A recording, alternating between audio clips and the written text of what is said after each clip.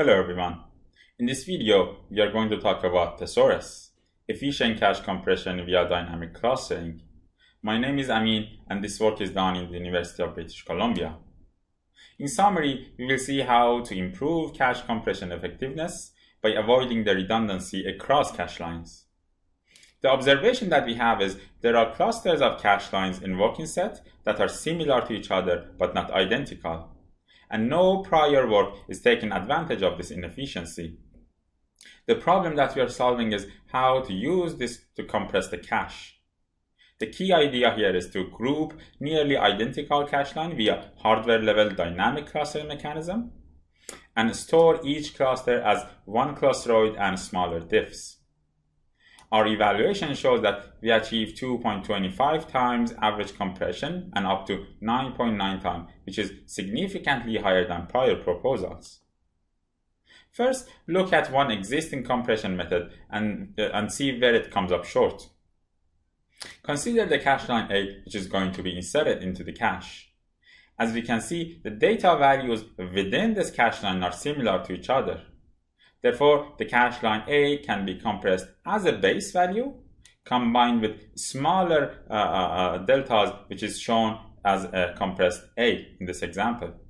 Therefore, we will insert the compressed A uh, data instead of the uncompressed version of it. As we see, this state-of-the-art last level cache compression is doing the uh, delta compression within each cache line. Let's look at another example. This time the cache line B does not have the values that are similar to each other. Therefore, this scheme cannot compress it. Therefore, we are going to insert it uh, in uncompressed format. So same procedure will apply to other data line upon insertion, which will result in storage saving on average. Now, uh, let's imagine a cache line E. So in this case, similar to the cache line B, because the, uh, the data values are not similar to each other, we are going to insert this cache line uh, in uncompressed format. But if we take another look, we can notice that the cache line E and B is only different in one byte, and the rest of the data, which is highlighted in green, are exactly identical. So this redundancy across cache lines shows a missed compression opportunity. So the goal here is to enable delta compression across cache line. Using the same example of cache line E, the goal is to detect that a nearly identical copy of this uh, data line exists in the cache, and then encode this data line as a metadata and the differing part and store that into the cache. The key challenge here is how to search for that nearly identical data line. One might say we can search entire cache line by line for the identical, uh, nearly identical copy, but this is impractical due to uh, the energy and latency costs. So in Thesaurus, we will show you how to search for the similar data line, how to encode similar cache line to compress the cache, and finally, how to do all of this cheaply in hardware. The plan is to avoid storing the identical cache line. In this example, the cache line B and A is on the identical. So we will just put a reference to a previously stored copy. And in the case of nearly identical cache line, in this example, the cache line C, we are only going to store deltas with an encoding. The encoding in Thesaurus consists of two parts. The first is the bitmap, which indicates which part of this incoming block is different from the previous similar stored copy. And the second part is the sequence of bytes that are actually different. Therefore, doing so, we can uh, uh, store the cache line C in the compressed format. Now, the question that naturally rises here is whether we have enough similar data lines in the cache that we can use to achieve good compression and if so, how do we quickly detect this in the cache? And finally, can we run a static analysis and use that, or do we need an online and runtime mechanism? In order to see if we have enough data line, we run the following experiment. Here, let's consider an ideal cache compression mechanism that instantly searches the whole LLC and tries to avoid storing the identical copy into the cache. Doing so, we can see that the, uh, uh the effective LLC capacity is increased by 1.3 times only over the baseline. Now, in order to measure how much opportunity is lost here, we are going to relax this exact match criteria. Again, consider an ideal uh, uh, cache compression mechanism that searches the entire cache instantly, but this time it searches for the similar data line and only store uh, uh, uh the bytes that differ from the most similar data line that exists in the cache.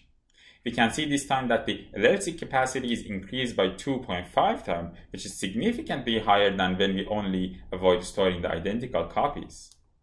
So as we can see, enabling this near match brings us a big compression opportunity. Now that we see this opportunity, we ask the following question from ourselves. Can we look at this problem as a clustering problem? To evaluate this, we applied DBSCAN clustering algorithm that sees entire last level cache dump at once rather than each block separately at insertion time. And as we can see from the figure on the top, the clusters are formed with different number of clusters for different workloads. Also on the bottom, we see that uh, the, we see the number of members for each cluster. And as we can see, it varies from uh, 10 to even more than 1200 in different workloads. Although this experiment validates that clustering is effective in capturing and grouping the similar data lines, there are challenges in directly applying clustering to the cache compression. Firstly, because as we saw, the number of cluster and the cluster members different uh, varies a lot among different workloads. This means that we need an adaptive cluster creation mechanism. Secondly, the cache content can change upon insertion and eviction of the data lines which also means that this clustering must happen uh, dynamically at runtime. And finally, the need to incorporate clustering in a cache controller requires that it is both relatively quick and inexpensive to implement in hardware. These requirements exclude the common clustering algorithms such as k-means, DBSCAN, and so on. So in summary, we showed a need for in-hardware dynamic and adaptive clustering mechanism that never searches uh, the cache for, uh, to detect a similar data line. Now let's see how we can detect this identical and similar data line in hardware in the cache. Identical data line can be detected by hashing the cache, uh, the cache line contents. In fact, a prior work has done exactly this to compress the data and avoid storing the redundant uh, identical copies very quickly when two data lines C and D are identical, the hashes calculated for them are also going to be equal.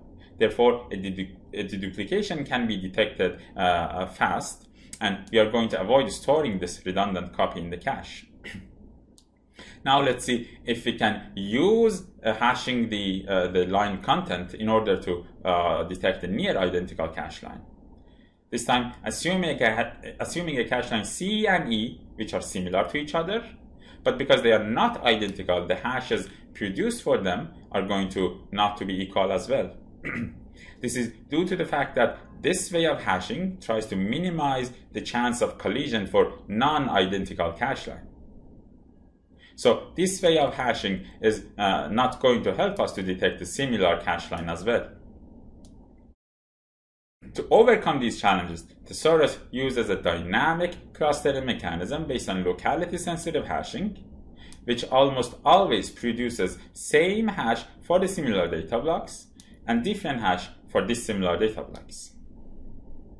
First, let's try to get some intuition on how locality-sensitive hashing works, and then later we will see how to use this for clustering purposes. The easiest the easiest way to create such hashing is to subsample data by randomly choosing some uh, bit position in the data. In this example, the cache line A and B are similar and cache line C is different from them. We start subsampling the data and as we can see, in order to create a hash which is representative enough and is able to distinguish between the data line C and data line AB, we need to keep sampling and increase the number of bits. Therefore, as we see, in order to achieve a good accuracy with these hashes, we will end up uh, having big hashes, which is not efficient in hardware. To do this more efficiently, locality sensitive hashes are usually constructed via a random projection. In this method, a hash vector is computed by multiplying the data line by a matrix randomly sampled from a normal distribution. Later, the elements of this hash vector are going to be concatenated to form the final hash fingerprint.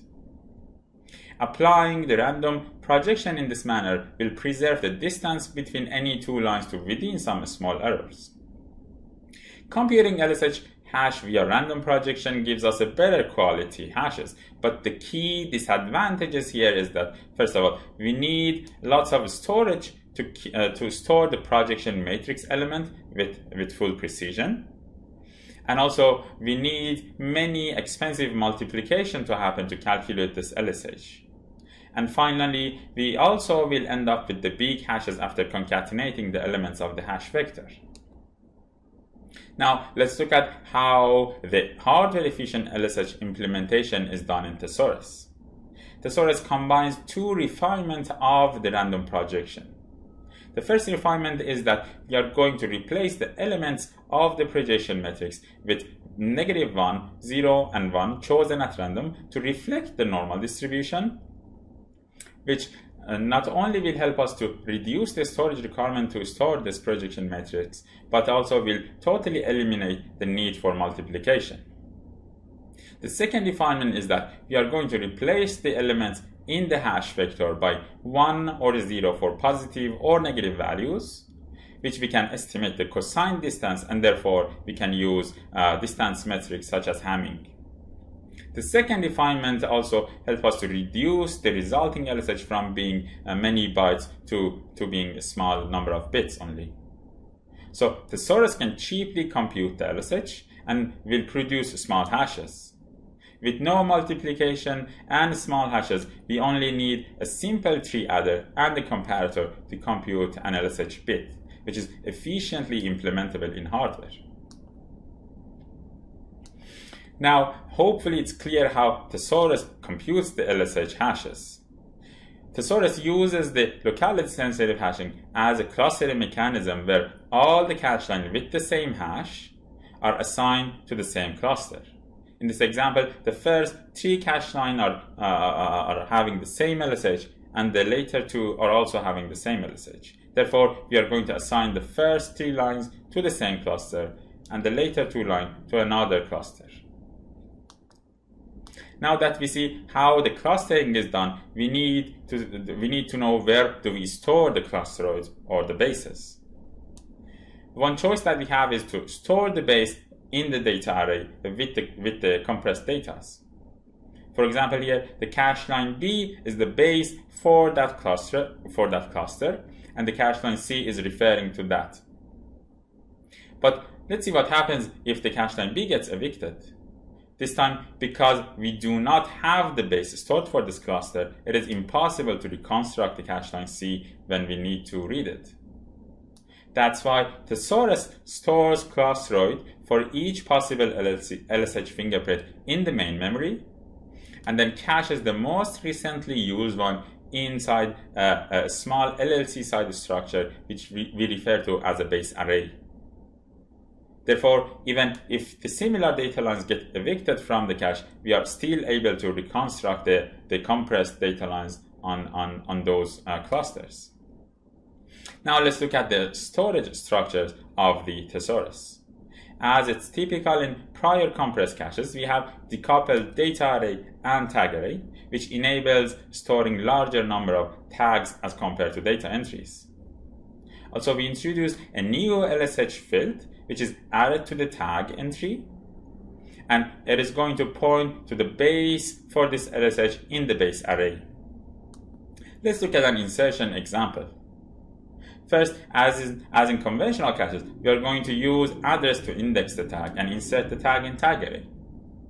Later, we are going to compute the LSH for the incoming data line and look up the base array to see if we store a base for that with no base with the, uh, uh, uh with the same LSH in the base array, we are going to store this cache line as the base for this cluster and then store this cache line in the data array and uh, store the LSH in the tag.